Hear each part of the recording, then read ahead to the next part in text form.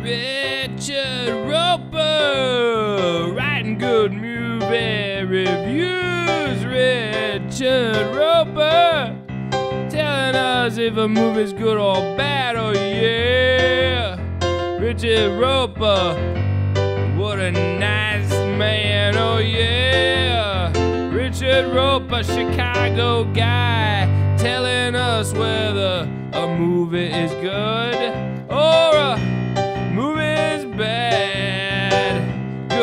Richard Roeper doing such a wonderful job. Oh yeah, yeah, Richard Roeper telling everybody if a movie is good or bad.